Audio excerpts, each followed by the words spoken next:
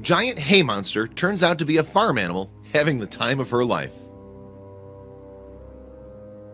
The life of a farmer is not easy. While working the land every single day certainly has its rewards, they have to put in long hours and lots of that involves grueling physical labor.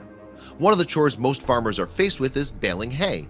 Believe it or not, hay can be a valuable resource on the farm and in the marketplace too.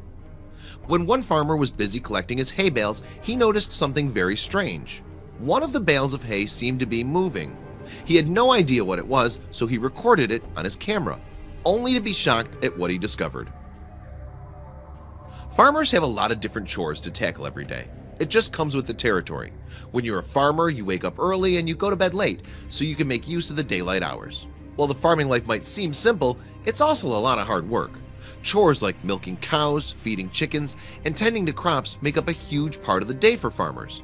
In addition to these, most farmers have to take on arduous task of baling hay on a regular basis. Hay is essential on most farms. It's either a product that farmers can sell or it's used as feed for their animals. Those bales of hay you sometimes see when you drive by pastures are raked up into large wheels to help make it easier to store and to prevent rot. However, these bales of hay are still prone to the elements. While kids might get a kick out of trying to climb them and pranksters dare each other to roll them around, an impossible task without the proper equipment, but hey, they can try. Not everyone realizes that a lot of sneaky critters can find their way into these bales. One afternoon, a farmer started to film what appeared at first to be a regular old bale of hay in his field. At first, the video is confusing. Why on earth would he spend so much time intently shooting a video of a bale of hay? Soon it became apparent that he was filming this bale of hay for a very good and strange reason. As the camera focused on the bale, it was clear that something was going on with it. The farmer couldn't believe what he was seeing. You see, the bale of hay actually started moving from side to side. It was as if the bale itself was possessed.